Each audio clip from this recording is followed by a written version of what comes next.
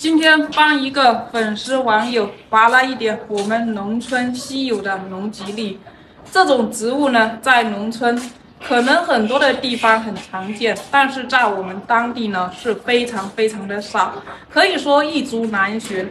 特别呢，对于一些有脚臭、脚痒、脚脱皮的人群呢，帮助特别的大。据说在过去的时候呢，也有人呢利用它外敷呢治好了皮肤癌，说明呢对我们脚上有烦恼的人群呢帮助特别的大，所以呢也被我们当地的老人呢号称为脚气的克星。今天呢也帮这位粉丝呢拔了有十来颗，找了有整整一下午的时间才找了那么多哈。但是呢，如今随着一个年代的埋没啊，很多的人对这种的龙脊栗呢都不了解、不认识了。所以呢，今天就拍期视频，让朋友们呢也认识认识。说不定呢，这个视频能够帮助到大家解决当下的烦恼哈。来看一下，像这种龙脊栗的话，它通常呢生于一些偏沙质的土壤中，比如说河边或者是一些山脚下。比较疏松的沙质土壤，就会发现哈。今天呢，就在我们河边呢找了有一下午的时间，找了有十来棵左右哈。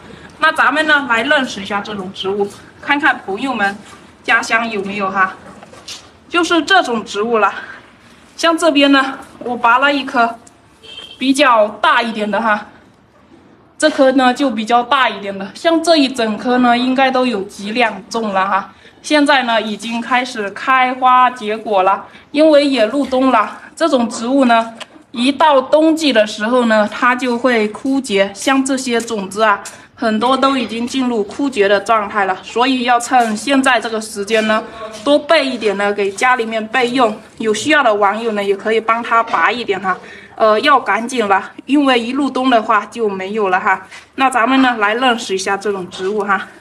像这个的话，就是它的主茎干了，就有一根到两根这种主茎哈，不会有很多的分支。然后上来的话，就是它的枝条了。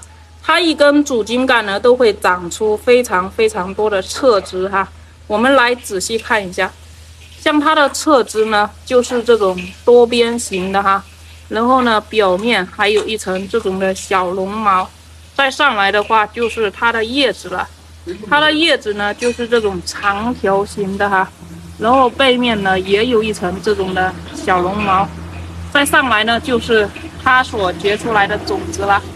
像它的种子呢，现在呢也临近成熟了，像这种呢就已经熟了，转换为黑褐色了哈。它里面呢包裹着有十几粒的这种种子，但是绝大部分呢都是被虫子吃掉了，像这种没吃掉的。